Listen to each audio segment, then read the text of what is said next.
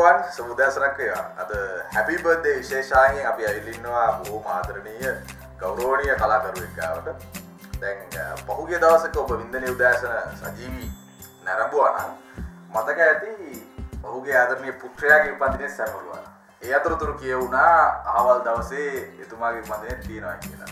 මං කල්පනා කරා එතුමා එදා අපිත් එක්ක සජීවී වැඩසටහනේ හිටියත් නෑ මම කොහොමද ගෙදරට යන්න ඕනේ. මොකද එතුමාගේ උපන්දිනේ 88 වෙනි උපන්දිනේ අපි සමරන්න ඕනමයි කියලා. ඒ නිසා මම අද ඇවිල්ලා ඉන්නවා. කවුරුත් නෙවෙයි අපි හැමෝම හඳුනන ආදරණීය විජේරත්න වරකාගොඩය. සුබම සුබ උපන්දිනයක් වේවා. දීර්ඝායුෂ ලැබේවා. උදෑසනක් වේවා. ආදරණීය චිත්‍රා වරකාගොඩ මැතිණියක් ඉන්නවා අපිත් එක්ක කතා කරන්න. හැබැයි විශේෂයෙන්ම සඳහන් කරන්න ඕන දෙයක් තමයි අද අපිට ජනනාත් වරකාගොඩ ආදරණීය හිතවතා සම්බන්ධ කරගන්න බැරුණා. කාර්ය බහුල නිසා ඒ වගේම ආදරණීය දියණිය වින්ද්‍යා වරකාගොඩත් සම්බන්ධ කරගන්න බැරි වුණා. කාර්ය බහුල නිසා. ඒ තමයි ඉතින් මේ දවස්වල හැමෝම කාර්ය බහුලයි. ඉතින් කොහොම වුණත් අපි කේක් එකකුත් අරගෙන ආවා. මම වෙනුවෙන් අපිට බොහොම සතුටුයි. අද කොහොමද? නිදහසේ පාඩුවේ ඉතින් වැඩි වැඩක් නෑ ඉතින් ගෙදර තුරේ වැඩකට තියෙනවා ඒකමඉතින් පුඩිපොඩි වැඩක් තියෙනවා එදා ඉරුවකට ගියා ඒ වගේ දැන් අද මේ මගේ නොන මහත්තයාගේ යුනිවර්සිටියේ බැච්මේස්ලගේ මීටිමත් තිබුණා ඒ අදත් මගේ යත් එක්කල යනවා සහභාගී වෙනවා ඉතින් ඔය වගේ පොඩි පොඩි දේවල් වලින් දවස කොහොම හරි කිවිලා යනවා තේරෙන්නේ නැහැ අපිට තව කතා කරන්න පුළුවන් හැබැයි ගෙනාපු කේක් එක කපන්න මම උතුමට ආරාධනා කරනවා හොඳයි. හොඳයි. හොඳයි. අපලා සුබම සුබ උපන්දිනයක් ප්‍රාර්ථනා කරනවා අපි ඔබතුමා අපිට ගොඩාක් වටින නිසා තමයි අපි මේ එළියට ඊසරේ ආව අපිට එන්න වැඩි හැබැයි මේ වෙන්න ගන්න බැරි වුණා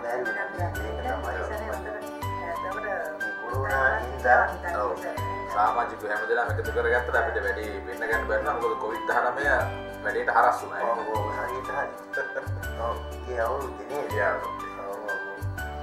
ඉතින් කොහොමද කපන්නත් ඉපේ ගන්නට අපි පොඩි කෑල්ලක් අරගෙන ඔබ දෙක ගන්න ඔව් ඒක ලොකු වැඩි හ්ම් මම කැපුවා දැන් එතකොට ඉස්ලාම මගේ Ahora dice, ah, happy birthday to me. Eh? right, right. කවුරුත් කියලා කන්න අපි මේ කොවිඩ් නිසා පස්සේ කම් වෙනම කපලා කමු. මෙයාටයි මට ප්‍රශ්නයක් නැහැ. ඉතින් දැන් මම හිතනවා දැන් 88 වෙනි වියට පාතබනකොට ජීවිතේ අත්දැකීම් නම් පුදුමාකාර විදිහට ඇති. බහුලයි. බහුලයි. තාමත්ම බහුලයි. කියන්නේ ඕන තරම් තියෙනවා අත්දැකීම් නම්. දැන් ඇත්තටම දැන් මේ හැමෝටම ප්‍රශ්නයක් කියලා තියෙන කොවිඩ් 19 ඔව් දැන් අපිට ගිය සැරේ උපන්දිනේට අපි හොඳටම කරපු එකත් අපිට පෙන්න ගන්න බැරුණා. වින්දනේ උදෑසන හදිසියෙන් කොවිඩ් හරස් වෙච්චලා නතර නතර කරන්න නිසා.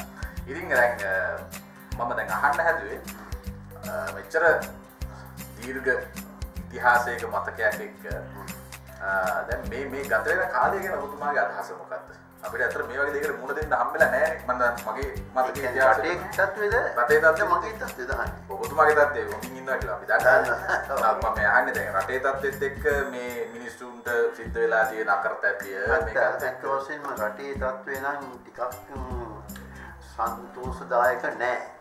සතුටු වෙන්න විදිහක් නෑ. මොකද අපේ ජනතාව මේ හුඟක් මේ මේ ප්‍රශ්න මතු කරගෙන තියෙන්නේ.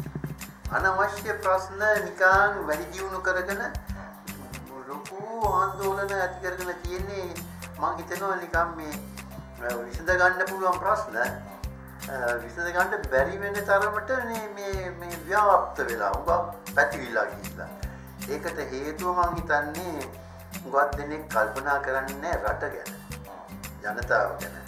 විශේෂයෙන්ම ඉතින් අපේ පාලක පිරිස උගක් තමන් ගැන කල්පනා කරනවා මිසක් රටේ ජනතාවගේ සුභ සිද්ධිය ගැන කල්පනා කරන දේශපාලනය කරන මං ඕක කිව්වේ නෑ දේශපාලනය කියලා. ඒ මොකද මං ඒ කිව්වේ මේ පාලන පක්ෂ කරන අය කියලා කිව්වේ හැමෝම හැමෝම හැමෝම දැන් අපි යොමුතුමියත් එකටියක් කතා කරුත් එහෙම විජයරත්න වර්ගකට මහත්මයා අ, සාමාන්‍යයෙන් කොහොමද මේ වගේ උපන්දිනයක් වගේ අවස්ථාවක සාමාන්‍යයෙන් එතුමාගේ පුරුද්ද කොයි වගේද උපන්දිනය කියලා නම් මෙයා කවදාකවත් වැඩි එක සමරන්න පාටි දාන්න යම කරන්න යන්නේ නෑ මෙයා. ඉතින් අපේ මේ දරුවෝ තමයි එකතු වෙලා මොන හරි කරන්නේ. ඉතින් මේ නැත්තම් අපේ මහත්තයා කවදාකවත් ඔය පාටි දානවට ඒවට හරිම වැඩි කැමැත්තක් නැහැ. අකමැත්තකුත් නෑ නමුත් ඒක වැඩකුත් නෑ කියලා හිතනවා අන්න ඒකයි කතා මෙයාගේ අසුවෙනේ උපන්දිනය ගත්තා. බොහොම ජයට ගත්තා නෑ නැවක ගත්තේ. එතකොට මෙයාගේ 50 වර කරාදිවට 50 වසරක් එක BMC ගත්තා. එතකොට මේ අපේ 50 වෙනි ජීවිතය අපි ස්වර්ණ ඉතින් ජය අපි පාටය සේරම කලාකාරයට කියලා අපේ කාලේ පාටය අත එක දරුවෝ කරන එක. ඒක දැන් ඇත්තටම දැන් පොඩ්ඩක් අර නවීකරණයත් එක්ක යන දෙයක් නේ ඔව්. නේ විශේෂ අවස්ථාවක ඒ විදිහට නැවත විවාහ ඔව් ඔව් ඕල් ඔව් වෙනක. පස්සට කිව්වා ඕල් වෙනක අපි ජාමන මේ වයසක ජෝඩුට ආපහු පෝරුක මස්ත අප්‍රාප්ත වෙලා පෝරුවේ උඩ නැගලා මේ ඇඟිලි බැදලා නොයි ජරමර ඇත්තටම විවාහෙන් දවසේ ඔව් ඒ තිබ්බ කාල සීමාවේ කොහොමද මේ ඒ කියන්නේ ඇත්තට මේ මතකය ගැන ටිකක් කතා කරොත් අපි? ඔව්. දැන් අපි 1970 ඇත්තයි ජනවාරි මාසේ 28 වෙනිදා බෑන්ති. ඉතින් ඒ අපි දෙන්නගේ විවාහ මංගල්‍ය දවසෙත් අපිට හරි සන්තෝසයි අපේ කලා ක්ෂේත්‍රයේ සියලුම දෙනා. ඇවිල්ලා සහභාගී වුණා. මගේ මගුල් ගෙදරට ඇවිල්ලා මට මේ සුව ප්‍රාර්ථනා කරලා අපි දෙන්නට අපිට තෑගි භෝග දීලා ඉතින් මේ සන්තෝෂව කෑවා බීවා හොඳට ඉතින් මේ හත්සේ බලන්න කියලා තමයි ටැප් 1000 ටැප් කට බේල් හොටලේ තිබුණා. මේ තරම් හැමෝම කිසිම වෙනසක් නැතුව මෙච්චර ආදරේයි මොකක්ද ඇත්තට තේරුම් ගන්න තියෙන ඒ රහස මේමයි. අපි හැමෝටම ආදරෙන්නේ. ඒකනේ නේ දැන් මට උනත් මගේ පුතා කියලා කතා කරන්නේ නැත්තම් ඒ මට හරියට දැනෙනවා ඒක. ඇත්තනේ ඒකනේ එහෙම තියෙන්නේ වෙන්න ඕනනේ තියෙන්න ඕනනේ. ඉතින් අපි හැමෝටම ආදරය කරනවා. ඉතින් ඒ කට්ටිය පෙරලා අපටත් ආදරය කරනවා. මට මතකයි ආනන්ද කොලෙජ් එක ට්‍රිප් එකක් ගිහිල්ලා බැරි තන බේරන්න බෑ ශ්‍රී මහා බෝධිය ඉඳලා රුවන්වැලි චාත්‍රයට මෙයාව ගෙනියන්න බෑ අතර දෙන්නකනේ. පස්සේ මගේ ෂෝල් එක අරගෙන මෙයාගේ මම වාගෙන ගියේ. මාව ඉනින් කනින් වාගෙන අරන් ගියේ. එතකොට අතර ගත්තා. නොපෙනින්න. ඔව් වෙන්නේ නැහැ නේද කවුද කියලා. ඒ නෑ වගේ දැන් මේ දවස්වල නම් ප්‍රශ්නයක් නෑ දැන් ගොඩක් වෙලා රෙජිට පස්සේ යනකොට මේ මාස්ක් එක දාගෙන. ඒත් අඳුර ගන්නවානේ අඳුර ගන්නවා. විශේෂයෙන්ම කතා කරපු හැටි අඳුර ගන්නවා. කටහඬෙන් කටහඬෙන් බොහොම දෙනා අඳුරනවා මාව ඒක. කියනවා මේ කටහඬ ඒ මුල්ම අවදියේ තිබ්බ කටහඬ අදටත් මගේ මේ විදිහටම තියෙනවා කියලා. ඒක දැන් මං හිතනවා ඒ කෝර්ලේ මහත්තයා කියන චරිතය ඔබතුමාට පුදුමාකාර විදිහට ආවේනික බවක් දැන් ඔව්.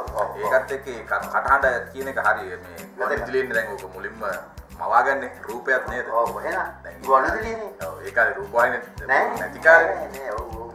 දැන් එතකොට දැන් කෝර්ලේ මහත්මයා කියන චරිතය විතරද ඔබතුමාගේ ජීවිතේ මේ තරම් දුරට බලපෑමක් කරේ? ගාක්ම බර බලපෑමෙන් මට මේ මුවන් පැලැස්ස නාට්‍යයේ මුදලි නායක සෝමරත්න මහත්මයා මම ආදරෙන් මතක් කරනවා. තමයි නිර්මාතෘවරයා, අධ්‍යක්ෂකවරයා අපි පටන් ගත්තේ 1900 මට මතක ඇටියට 63.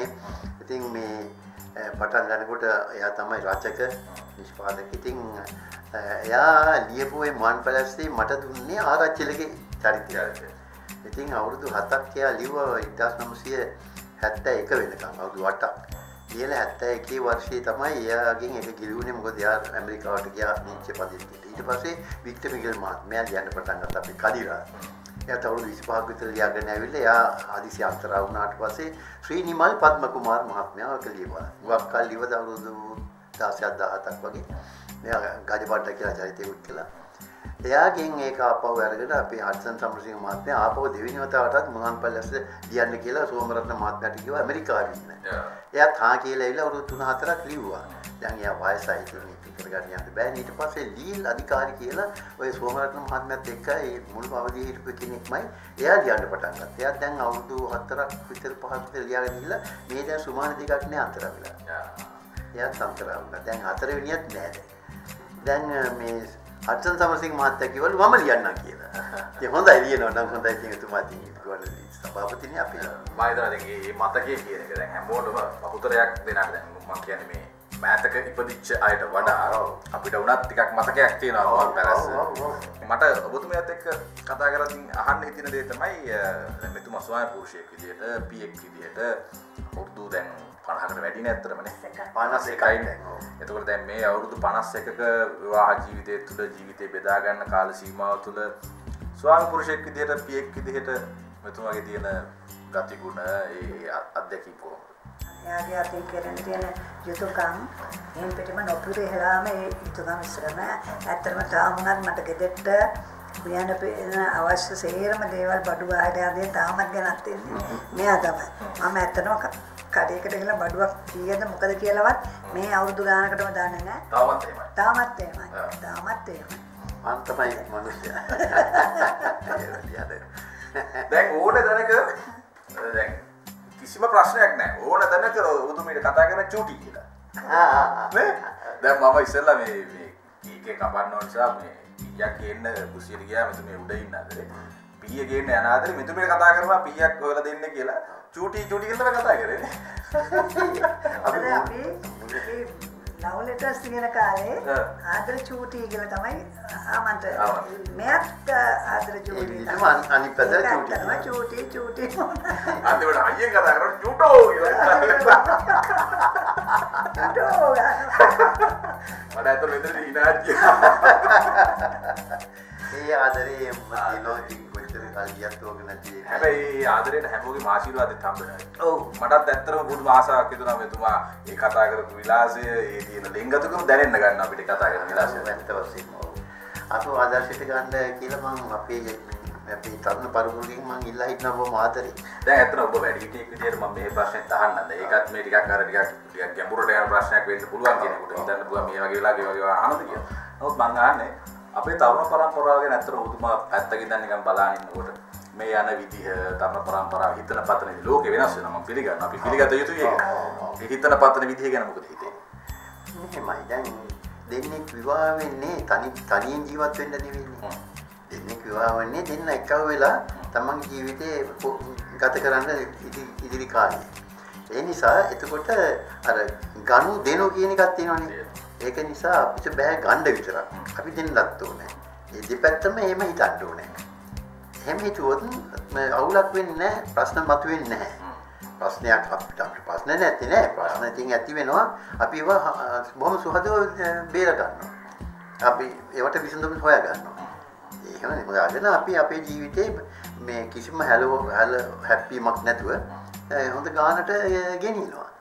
ඉවසීමත් උතන ගොඩක් ඉවසීම කියන එක 100ක් ඕනේ. විශ්වාසය ගෞරව කරන්න ඉවසීම විශ්වාසය ගෞරව කිරීම.